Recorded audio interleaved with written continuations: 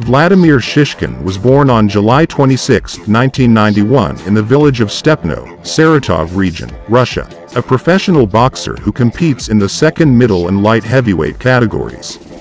Among the professionals, the former WBA Continental 2018-2019 champion and interim WBA Asia 2018 champion in the second middleweight division.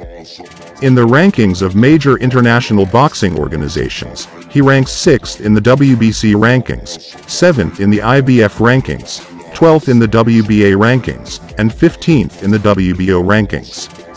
Vladimir is in the top 15 of the best super middleweight boxers of the entire planet. A boxer belongs to the category of people who have made themselves. From the very beginning, the boy was predicted to have a good career in boxing. The 11-year-old boy had a good reaction. In the training room, he was called Floyd Mayweather for his lightning-fast reaction.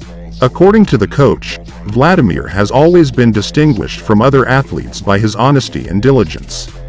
Vladimir has more than 300 fights in his amateur career. In his professional career, Vladimir has 13 fights, 0 losses, of which 8 wins by knockout. The boxer began his professional career in July 2016, immediately in the first fight, defeating the experienced Latvian Andrei Loginov by technical knockout in the fourth round. On May 30, 2018, Vladimir Shishkin's first title fight with an experienced Belarusian Sergei Khomitsky took place at the St. Petersburg Winter Stadium, whom Vladimir Shishkin defeated by technical knockout in the seventh round and won the title of interim WBA Asia champion in the second middleweight. On July 21, 2018, at the Olympiyskiy Sports Complex, Moscow, on the undercard of the fight, Alexander Usyk vs. Murat Gassiev. According to the preliminary plan, Vladimir Shishkin was supposed to fight for the title with the undefeated Russian Andrei Sirotkin, but Sirotkin was injured two weeks before the fight and did not go to the fight. As a result, on short notice, Shishkin was confronted by an experienced Russian Gasan Gasanov, whom Shishkin defeated ahead of schedule by knockout in the fifth round, showing, according to some reviews, the best fight of the evening and winning the WBA Continental Super Middleweight Champion belt.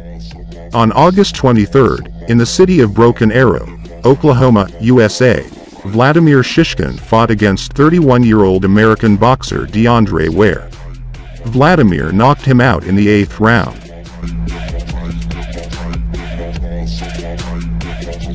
On August 20, 2020, a boxing evening took place in Detroit, Michigan, USA, in the main fight of which Vladimir Shishkin defeated Mexican Oscar Riojas by knockout.